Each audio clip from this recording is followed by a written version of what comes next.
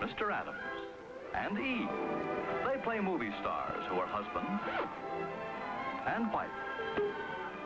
Starring Ida Lupino and Howard Duff.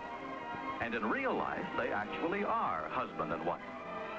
It's Mr. Adams and Eve, brought to you by Lustre-Creme, Hollywood's favorite shampoo. It never dries, it beautifies. And new Luster Net Spray Set.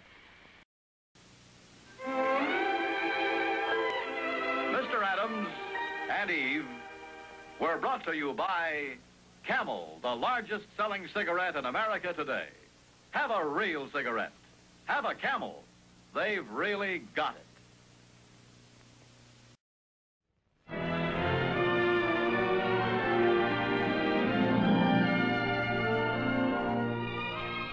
Window on Main Street.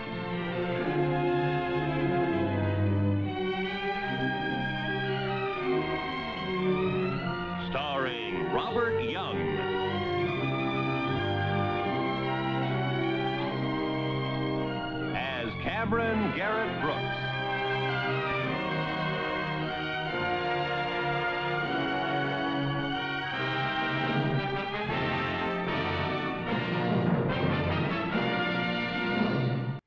Window on Main Street has been brought to you by Toni, makers of Tonette, the home permanent made especially for very young hair.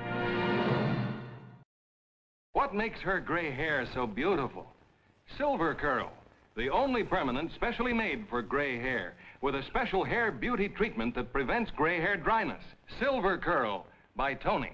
Join us again next week for another exciting episode at 21 Beacon Street, brought to you by Ford, maker of the world's most beautifully proportioned cars, the world's most popular cars.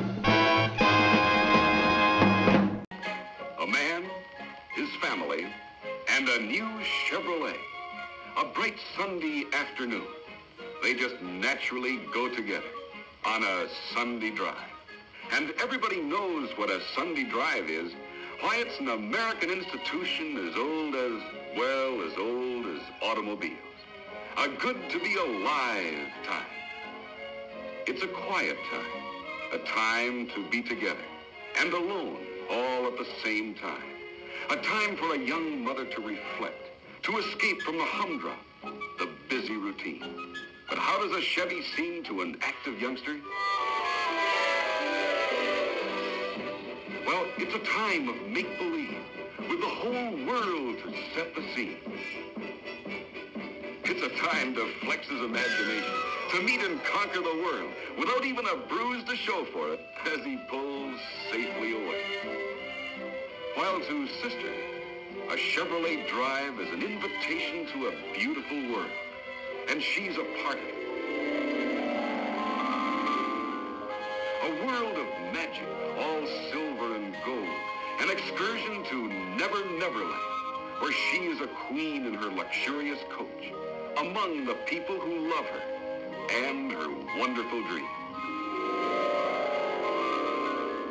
But what about father?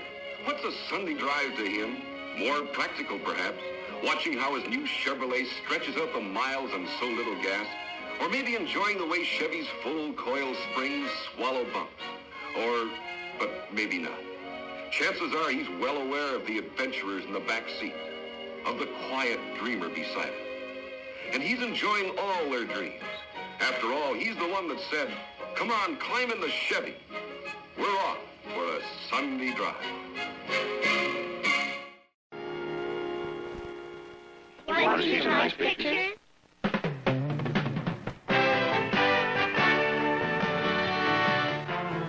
Hi, I'm Sandy Duncan. I'm Richard Thomas. Hi, I'm Bea Arthur. I'm Samantha Eggar. I play Anna. And the king? Who else but Yul Brynner? I play Bernie Steinberg. And I play Bridget, Teresa, Mary, Colleen, Fitzgerald. Hi, this is Bill Cosby. Oh, hi. I'm Alan Alda. Alan Alda. Yeah, I'm, uh, I'm calling to tell you about the, the new show I have on CBS this fall. It, it's called The Bob Newhart Show. Have, Have we got a ball for you? First, take a look at CBS's eight new shows. Have we got a fall for you? MASH, Anna and the King, The Bob Newhart Show, Maude, The New Bill Cosby Show, The Sandy Duncan Show, The Waltons, Bridget Loves.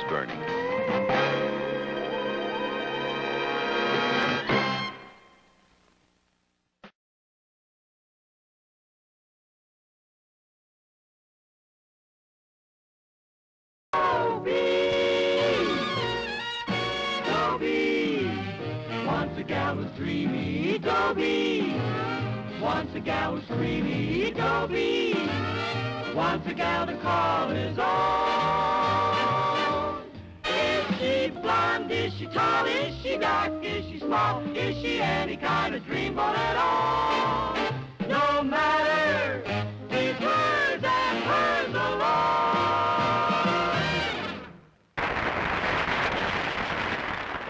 You see before you a broken man, a shambling, hollow-eyed hulk.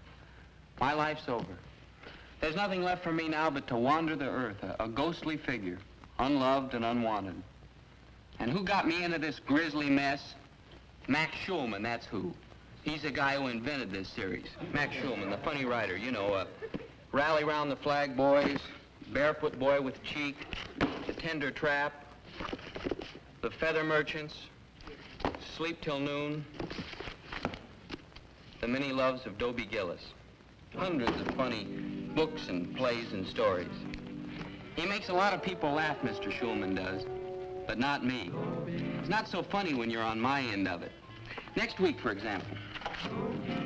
Next week, he's got me doing some of the... Some of... No,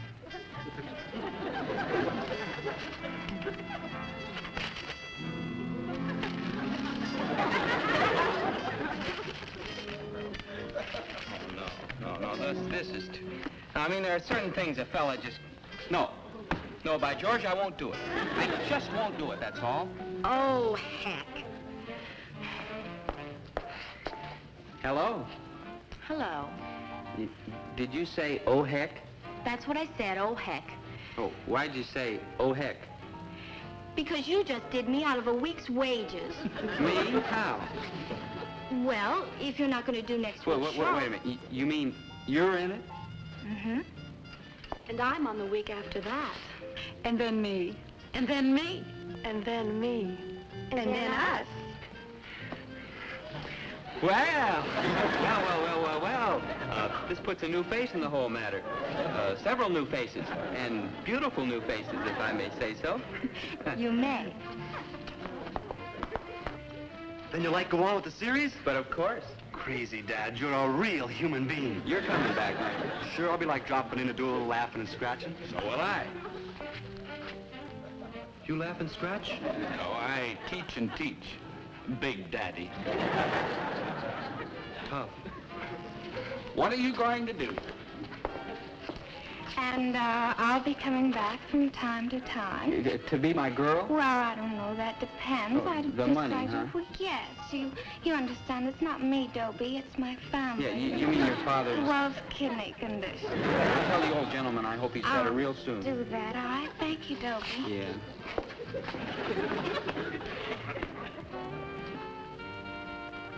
I'll be an occasional visitor, too. I know that voice. I'm your brother, idiot.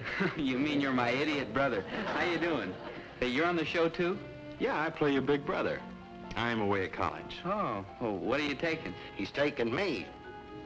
Now I know how Walter P. James felt. Who is Walter P. James, dear? Walter P. James had two sons also. Jesse and Frank. Well, that's my pop, and that's my mom, and that's my brother, and that's my teacher, and that's my buddy.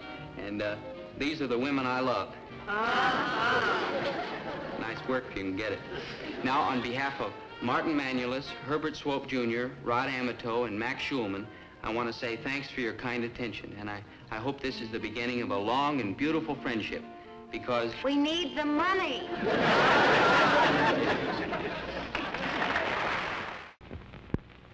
Well, that's it, writers. But before we leave, would you remember to do something for Dale and me? Ask your mom to get a package of our favorite cereal, Post Sugar Crisp. I'm sure once you try it, you'll like it as much as we do. Yes, indeed. We all love Sugar Crisp around this ranch. The kids are crazy about it. And no wonder. Wait till you taste it. No other cereal even comes close to Sugar Crisp to my way of thinking. So get the package with the three bears on front, and we'll see you next week. Bye.